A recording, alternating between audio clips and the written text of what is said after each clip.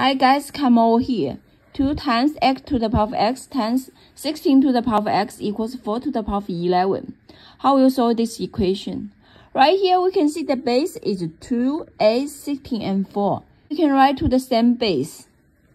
2 times 8 can write 2, 2 cube to the power of x times 16 can write 2 to the power of 4 and to the power of x and the 4 can write 2 square to the power of 11. And keep going. 2 times 2 to the power of 3x times 2 to the power of 4x equals 2 to the power of 22.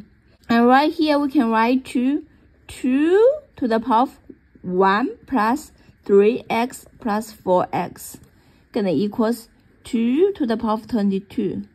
Since the base the same, so right here the power gonna be the same, right? Which is 1 plus 3x plus 4x equals 22. And here 7x gonna equals 21. x equals 3. You guys are so smart. I'm so proud of you. See you next time.